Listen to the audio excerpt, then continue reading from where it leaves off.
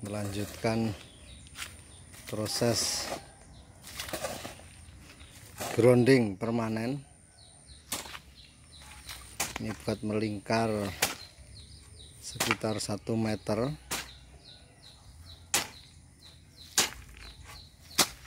Dari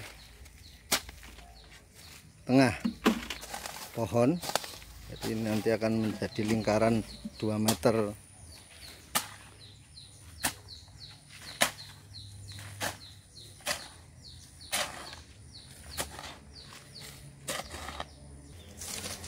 ini melingkar sekitar satu meter dari lubang.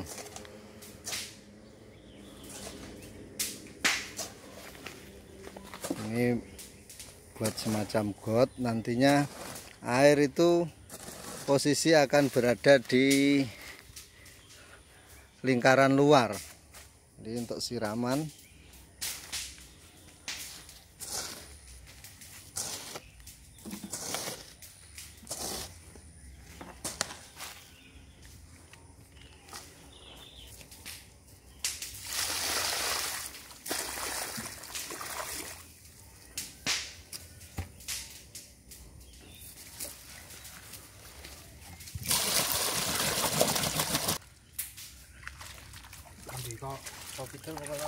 Nah ini perhatikan teman-teman Dibasahi karena ini Di kebun belakang rumah Banyak ayam.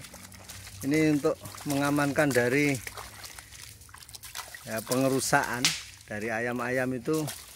Jadi di seperti ini kan. Dan sekalian ngecek bahasanya nanti genangan air itu ada di lubang luar.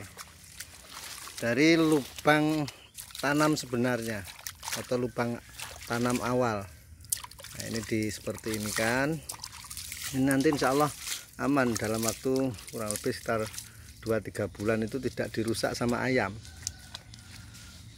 Nah ini. Nah ini persiapan terakhir.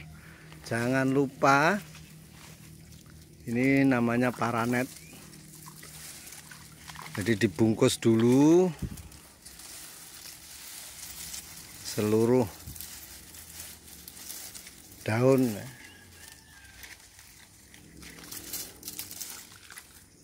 Biar tidak terjadi fotosintesis selama proses pemulihan. Ini daunnya dibungkus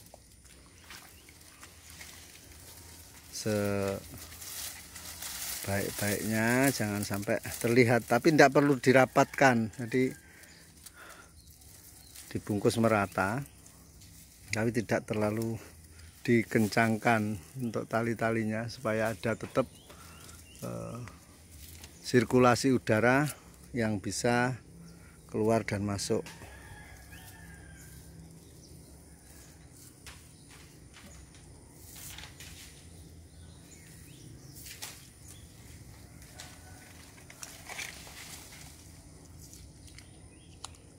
sampai bawah. Usahakan sampai bawah.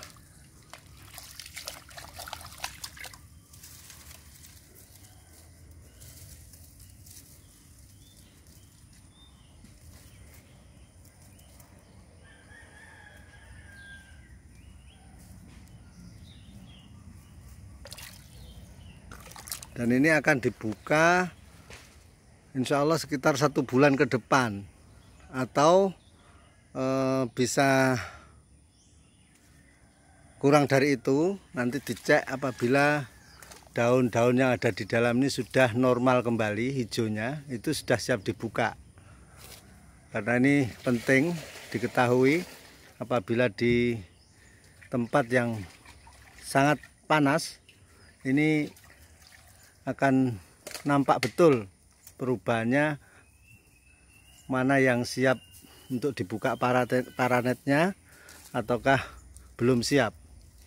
Dan ini usahakan air menggenang ataupun penyiraman seperti ini karena menanamnya di awal musim kemarau.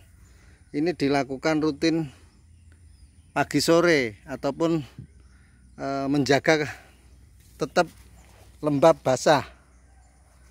Tapi kalau memang daerahnya berair ini dikontrol cukup tiga hari sekali pemberian air seperti ini. Oke, insya Allah. Semoga bermanfaat tutorial ini. Wassalamualaikum warahmatullahi wabarakatuh